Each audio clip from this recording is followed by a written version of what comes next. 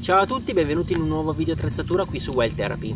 Oggi andiamo ad affrontare un nuovo argomento e andiamo a scoprire qual è l'attrezzatura eh, utile per affrontare in sicurezza le vie ferrate.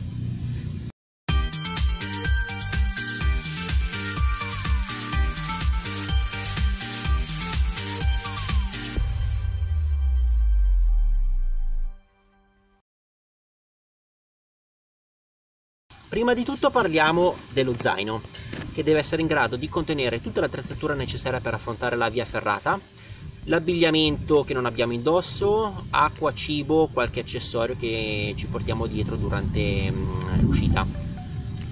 Normalmente se non siete tipi che vi portate il mondo eh, è sufficiente uno zaino da 20-30 litri che deve essere comodo, leggero e possibilmente con poche fettucce che potrebbero andare ad incastrarsi durante mm, la salita.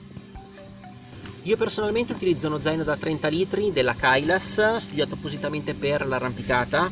Eh, questo fa sì che ha tutta una serie di accorgimenti per poter agganciare anche esternamente l'attrezzatura. Adesso andiamo a scoprire che cosa mi porto durante l'uscita su vie ferrate.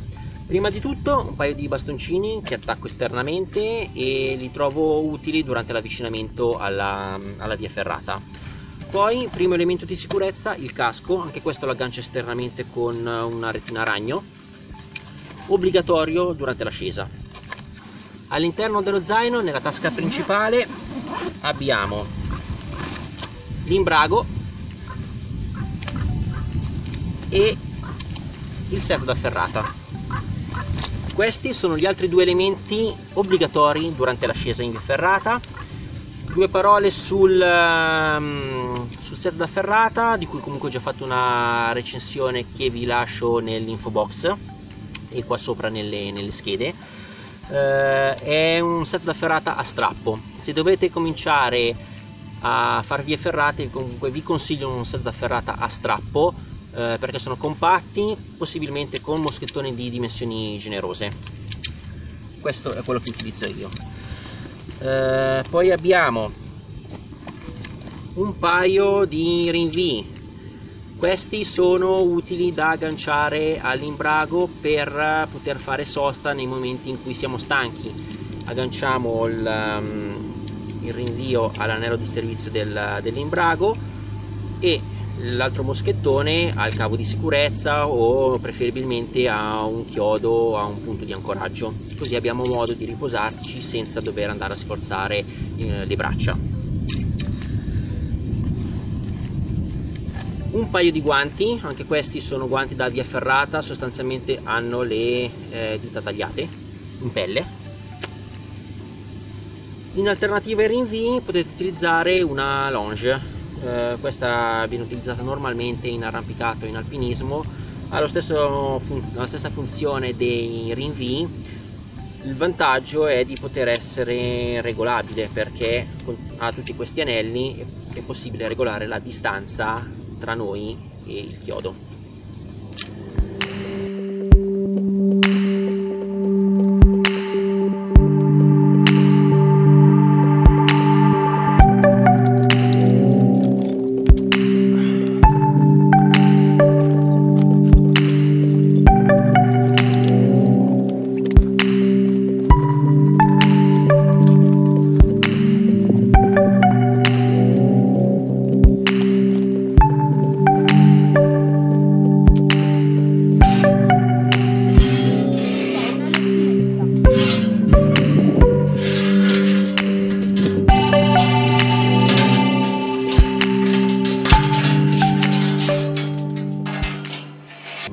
se andate ad affrontare vie particolarmente impegnative potete anche pensare di portare con voi le scarpette d'arrampicata.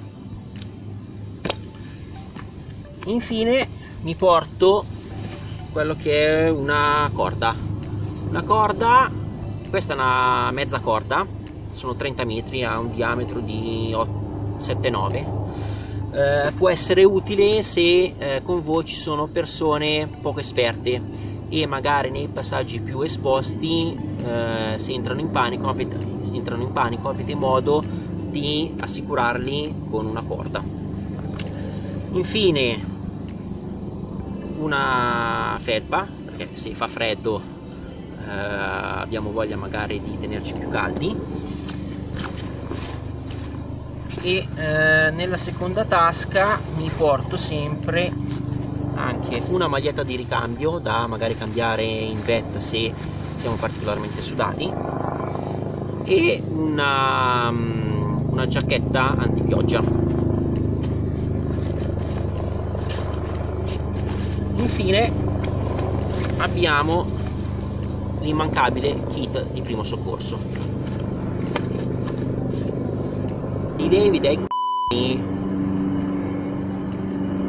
Altri accessori che porto sempre con me sono la torcia frontale utile se dovessimo rientrare con il buio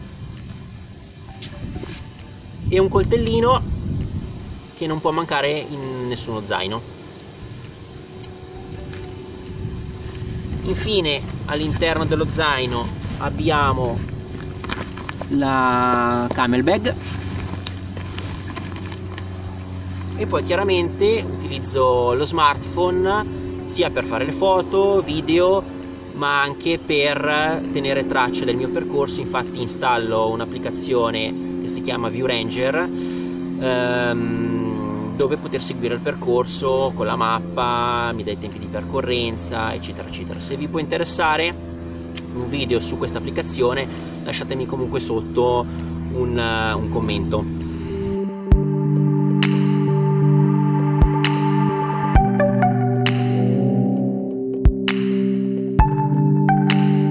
Infine due parole sull'abbigliamento. Il consiglio che danno tutti è comunque quello di vestirsi a strati, soprattutto se andate ad affrontare la via in inverno e avere un buon paio di scarponcini. Io attualmente utilizzo scarponcini da alpinismo eh, con suola rigida perché così permette di avere maggiore sicurezza nei passaggi più, più difficili.